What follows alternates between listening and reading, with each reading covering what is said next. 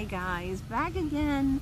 is Miss Mickey going to talk to Billy Bear today to see what animal he brought us today. Yesterday we talked about the, what was that? It was the snake. His favorite place to live is on the farm because he likes to eat the eggs. He likes to eat chicken eggs and rats and mice and they're all over the place on a farm. We've talked about, what was this? The L running up your leg? The lizard, right? We talked about the owl who hoots at night. We talked about the bat, the fox, the raccoon, the bluebird, and do you remember this one? This was the very first one. He rolls up in a ball really tight. The armadillo. Yeah.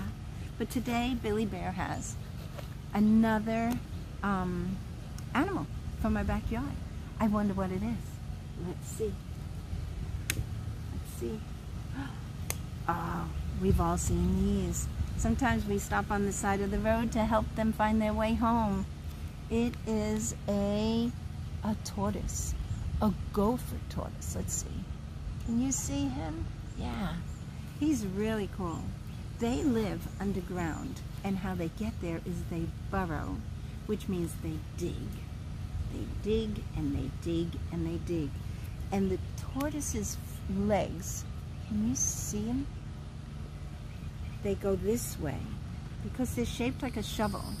They use their front legs to dig their hole, and their back legs are very strong, so they can push themselves further into the hole to dig deeper. And that's what they use their back legs for. It's amazing how animals know how to do this. They didn't have to go to school. They didn't have to read a book. They're just born knowing how to take care of everything that they need.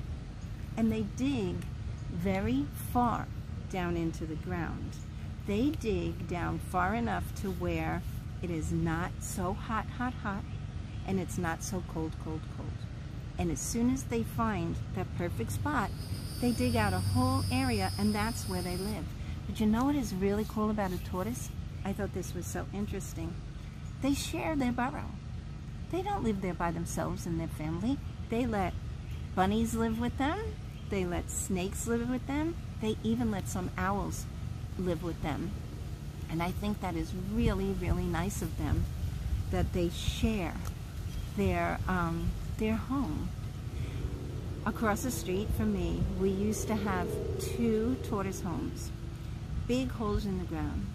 And when I would cut my grass in the summer, they would come across the street to my yard and they would eat the freshly cut grass. I think the smell took them out of their burrow and that was their favorite thing to eat. And um, I used to have ducks and my ducks lived in a little cage in the front and I would let the, du the ducks out so they could walk around. And when the ducks were out, the tortoises would come and sit in my driveway with the ducks. Isn't that funny? And sometimes my ducks would go and sit at the hole of their burrow and just hang out with each other. It was really, really cute. Let's see. Tortoises can grow very, very big. You know, sometimes we see turtles like this, but they grow very, very big and they live a very, very long time. They're probably live longer, than, like an older than your grandma. They live a very long time. The sign language sign for turtle is stick your thumb out, stick your thumb out, and then put your hand over. Turtle. Sometimes you don't even have to put the shell on. Turtle. And we think that they move really slow, and they do, but they can quicken themselves up to get to where they need to be and to try to keep themselves safe. And do you know when a tortoise rolls over on its back, it's very dangerous for him because he can't roll back over. And sometimes if he has a friend, they're very social and they like to have their friends with them. Their, their friend will help turn them back over to get them back on their feet. It's like if somebody falls down in the playground and they're crying and then you come over and you're their friend and you help them up. Turtles do that all the time for each other. Yeah, isn't that nice? They eat grass, they eat mushrooms, they eat berries, they eat cactus. I can't eat cactus.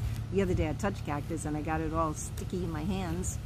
Um, they like um, berries. They like blackberries and blueberries, all kinds of berries. So they have a very nice diet. They're very kind, but they will bite. They will bite. They don't want to bite you. They'd rather tuck their head back in their shell. But if they have to, if they're scared, they will bite to, to try to scare you away. So don't touch them. Don't touch them only with a grown-up. And if a grown-up, if somebody is holding them like at a zoo and they say you can touch them, that's okay, okay? Um, what else can I tell you about tortoises? They, um, they do make a sound. They make like a hiss sound. Um, and it's the kind of sound like to scare somebody away, like don't come near me, I might bite you, I might bite you.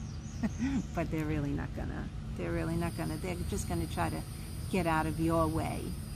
And sometimes when we see them on the road, you, sometimes you see cars pulling over and going and being really careful, like scooting the turtle, so that walking behind the turtle so the turtle gets off the road. Or sometimes you can pick them up in a very special way and get them um, off the road. One time I went to pick up a turtle to get him off the road and I didn't know he had a very long neck. And his neck came around and went to bite my finger and I let him go really quick. And then he scurried along and got off the side of the road. So you never know you know if they if they can hurt or not. So but tortoise and let's see what the question is okay it says gophers See, the name of this tortoise is actually a gopher tortoise, which means he digs himself into the ground. And gophers, they're animals that are called gophers, and they live in the ground. So it says gophers are also very good at digging, and these tortoises dig large burrows underground with the gophers. And they stay there to shelter from the weather which means if it's raining and storming or a hurricane, they're down in the ground being safe. If it's cold um, and we get a, free, a frost, you know, like when we have to wear our gloves and our hats to school, they're down in the ground staying safe. So they that's where they keep themselves safe. But they share their homes with other animals. How nice. And I have a book that maybe your grown-up can look for a home for little turtle. Yeah, a home for little turtle. It's called Little Animal Adventures. Look, here is the tortoise eating lettuce. They love lettuce. They love anything that's green. So maybe, I wonder where he finds his home. He looks all around here it says that turtles like to eat all kind of plants. They like to eat worms and tiny little fish. And they live in the gardens and they feast on lettuce. I told you they like everything that's green. They like to keep warm, but if the sun gets too hot, they go under the ground or behind a lot of rocks. They said um, they all might look alike, but no shell is the same. Just like we all have hands and fingerprints, but none of our fingerprints are the same, just like snowflakes. No turtle shell is the same. And it says, when the winter comes, the turtles dig their deep burrows, and that's where they stay. A baby turtle can fit in the palm of your hand. And there are many different types of turtles. They live in the water, they live in the ground, they live in rocks. Yeah.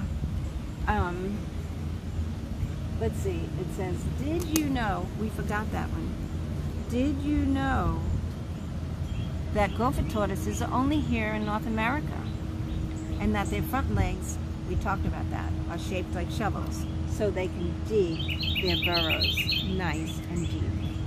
Well, that was fun learning about the animals in my backyard. I gotta tell you, Billy Bear is so much fun to hang out with and he's teaching us such neat things. I cannot wait to see what else he teaches us tomorrow. Bye guys. I'll see you again soon.